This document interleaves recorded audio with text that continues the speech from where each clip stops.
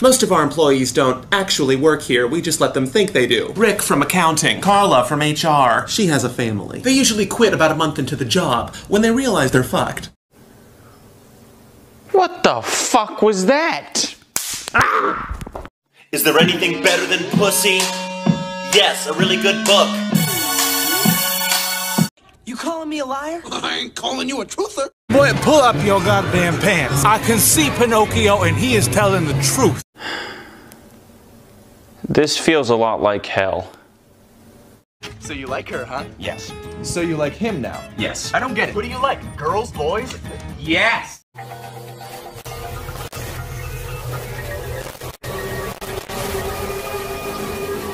done, I'm done, I'm done, done, fucking done!